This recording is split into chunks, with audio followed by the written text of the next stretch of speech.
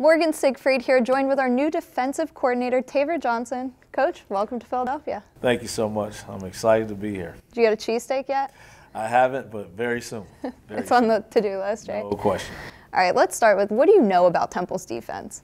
I know that they're very, very tough defense. Uh, some guys that run around and they play the game that how you're supposed to play it. I mean, they will flat knock you out. You know, uh, in, in, a sense, you know, you have to be careful these days. But very, very physical, uh, very, very smart. Uh, I've already reached out to a number of guys, and they've reached back out to me, and uh, that that shows me that they're really eager to get going and uh, to build on what's been done. What is it about Temple that drew you here? Uh, I'll tell you what, this place is, is, is definitely known for for producing a bunch of different people, you know, from all walks of life, and again, being right in the heart of the Philly, uh, uh, of the city of brotherly love. Uh, I think a lot of guys try to exclude a lot of that love uh, on the football field.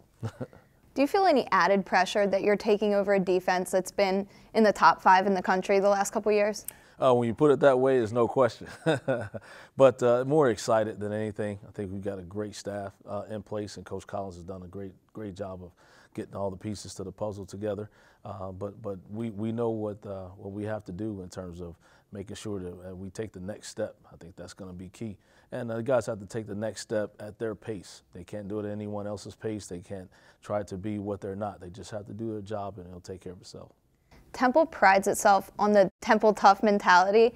How do you plan on building what they've already got going?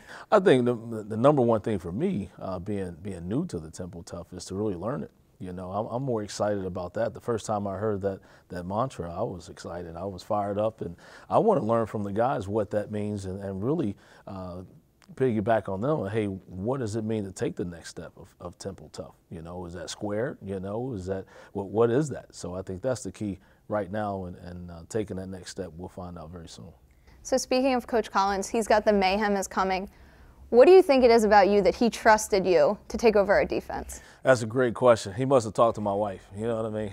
Uh, but I tell you what, the, the dealings that we've had with one another, uh, just the conversations uh, prior to Temple, I think we both uh, got to a comfort level with each other that uh, it wasn't just about football. It wasn't about X and O's or, or anything specific. It was just about uh, being a, a, good person, you know, and in the coaching realm, you always get a vibe, you know, whether it's recruiting, whether it's your own players, uh, people you work with, people you meet.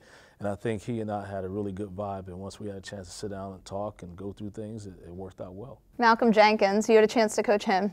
Talk about your relationship with him, Philly guy. Yes, Philly guy, uh, Jersey guy, and I just talked to him last night. You know, as soon as I got the job, I shot him a text and let him know I was coming, uh, and, and, he was fired up. Uh, we, we, have been in constant communication ever since he graduated. Um, we turned into really good friends. You know, when you have that coach-player relationship, uh, that that's how you want it when guys move on, where it, it turns into even more of a friendship. And uh, we're really excited to, to get around his family. My wife is really eager to help in his foundation and things like that. So um, I can't wait to see him. Now that you're here, where do you start?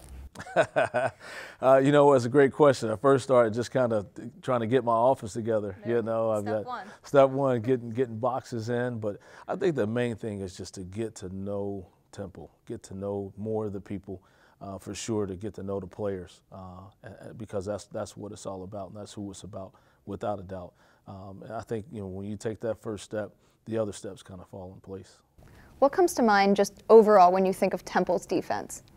When I think of Temple de defense, I think about a swarm, just a swarm of 11 guys on the field at the ball all at once and, and really making the offense feel like there are 13, 14 guys out there, you know, playing against them. You know, that, that's what I think. Uh, and again, toughness, you know, a lot of toughness.